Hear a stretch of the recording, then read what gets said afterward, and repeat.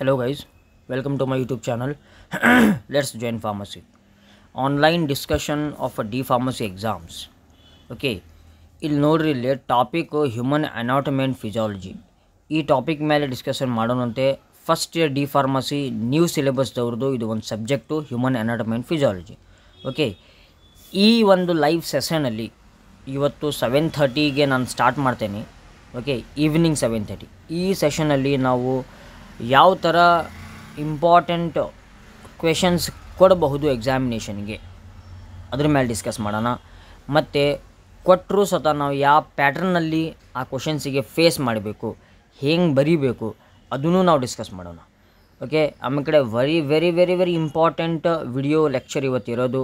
ಬಂದು ಅಟೆಂಡ್ ಆಗಿ friends especially D ಫಾರ್ಮಸಿದವರು ಓಕೆ ನಿಮ್ಮ ಸಲುವಾಗಿ ಮಾಡಾಗುತ್ತೇನೆ definitely you are going to crack your exams ನೀವು ಫೇಲಿಯರ್ ಇರಲಿ ಬ್ಯಾಕ್ಲಾಗ್ ಇರಲಿ ನಿಮ್ಮದು ಕೆ ಟಿ ಇರಲಿ, ಏನಾರು ಒಂದು ಇರಲಿ ಫ್ರೆಷರ್ ಸ್ಟೂಡೆಂಟ್ಸ್ ಇರಲಿ, ಈ ಕ್ಲಾಸಿಗೆ ಅಟೆಂಡ್ ಆಗಿರಿ.